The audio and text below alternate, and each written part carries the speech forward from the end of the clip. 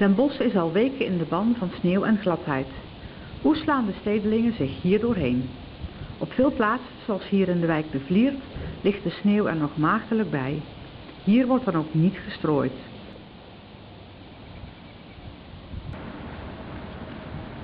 Ook niet bij winkelcentrum Kloosterhof, waar de parkeerplaatsen verraderlijk glad zijn.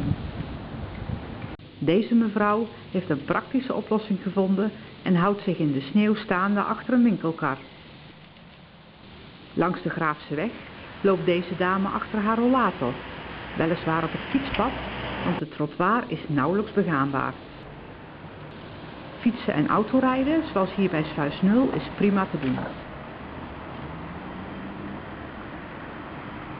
Evenals bij Stadion de Vliert, waar lesauto's af en aanreden voor de rijexamens, de wegen waren ook hier prima.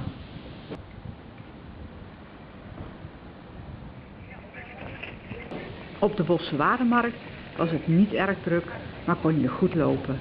Glad was het er niet. Koopman Martin van Veen had een toepasselijke waar bij zich.